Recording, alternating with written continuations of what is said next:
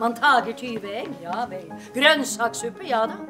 Men åtte liter ublandet blod! Jeg har en herlig knoke oppi her. Ah. Slaktedagen er høydepunktene på en gård. Matlaging er en kunstart, akkurat som litteratur. Derfor var det jo naturlig at jeg også begynte å skrive noveller, romaner og dikt. Min store kokebok er selvfølgelig mest kjent, og det er ikke den ting jeg behandler her som ikke kan være nyttig å kunne. Følg med nå. Når dyret har utåndet, så blir skollet åpnet, og så skiller man tarmene fra hverandre.